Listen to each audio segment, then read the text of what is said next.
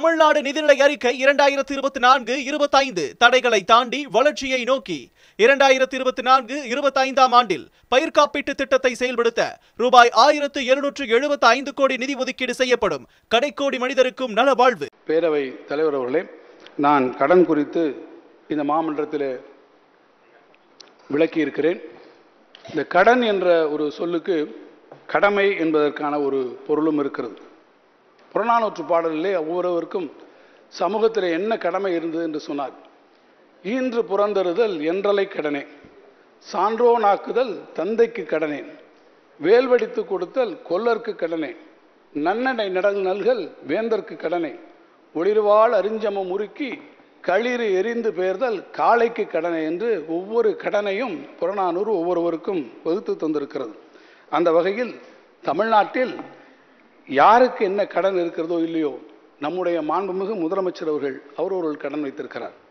நெல்லும் உயிரன்று நீரும் உயிரன்று மன்னன் உயிர்த்தே மலர்தலை உலகம். அதனால் யான் உயிர் என்பதறிகை வேண்மிகு தானை வேந்தற்கு கடனை என்று புறநானூறு சொல்லுகிறது. மன்னன் தான் உயிர் என்பதாக அவன் கருதி இந்த நாட்டு மக்களை எந்த ஆட்சி முறையினுடைய கேட்கிறானோ அது அந்த மன்னனுடைய கடமை அவன் அந்த உயிராக இருக்கிறான்.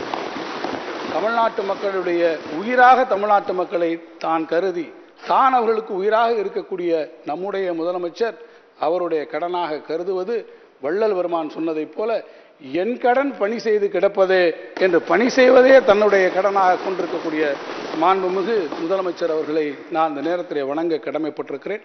அவர்களுடைய நல்லாட்சியிலே அந்த ஆட்சி நடக்கக்கூடிய திராவிட மாடல் ஆட்சியை நாம் அனைவரும் போற்றி பாராட்டுகிறோம்.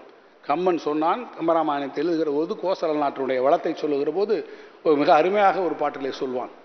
வன்மை இல்லை ஓர் வறுமை இன்மையால். திண்மை இல்லை நேர் செருணர் இன்மையால். உண்மை இல்லை ஒரு பொய்யுரை இன்மையால். வெண்மை இல்லை பல கல்வி மேவலால் என்று சொன்னான். கோசல நாட்டிலே வள்ளல் தன்மை கிடையாது காரணம் அங்கே வறுமை இல்லை. கோசல நாட்டிலே பெரும் வீரர்கள் கிடையாது காரணம் எதிர்த்து போராடக்கூடிய எவரும் எதிரே இல்லை. உண்மை இல்லை. காரணம் அங்கே ஒரு பொய் உரை இல்லை.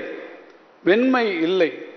பல கேள்வி மேன்மையால். அறியாமை என்பது அங்கு இல்லை. காரணம் அந்த கோசல நாட்டிலே கல்வி வளத்திற்கு அள்ளி கொடுத்த வள்ளல் இருந்தான் என்ற காரணத்தினாலே. பேரவை தலைவர் அவர்களே ராமராஜ்யம் எப்படி இருந்ததோ இல்லையோ யானொன்று அறியேன் பராபரமே.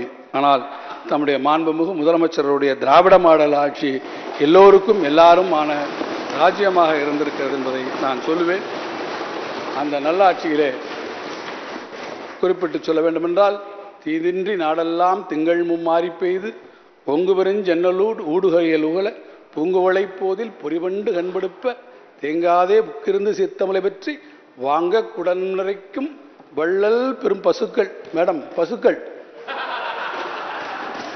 நீங்காத செல்வம் நிறைந்தேலோ ரெம்பாவாய் என்று சொன்ன அந்த பாடலை நிறைவு செய்து இந்த ஆட்சியிலே மாண்புமிகு முதலமைச்சருடைய திராவிட மாடல் ஆட்சி எல்லா வகையிலும் நிறைந்திருக்கக்கூடிய ஆட்சியாக இந்த ஆட்சி இந்த நாட்டினுடைய நிதி வளத்தையும் இந்த நாட்டினுடைய இயற்கை வளத்தை மேம்படுத்தி செயல்படுத்தும் என்பதை நான் தெரிவித்து என்னுடைய உடைய பதிலுரையை நான் நிறைவு செய்கிறேன். நன்றி வணக்கம். நிறைவு செய்வதற்கு முன்பாக பேரவைத் தலைவர்களே வரவு செலவு கூட்டத்தொடரின் விவாதத்தில் மாண்புமிகு சட்டமன்ற உறுப்பினர்கள் சில கோரிக்கைகளை எல்லாம் பேசுகிற போது முன்வைத்திருக்கிறார்கள். அந்த கோரிக்கைகளை பரிசீலித்து மாண்புமிகு முதலமைச்சருடைய வழிகாட்டுதலிலே நான் கீழ்கண்ட அறிவிப்புகளை செய்ய விரும்புகிறேன்.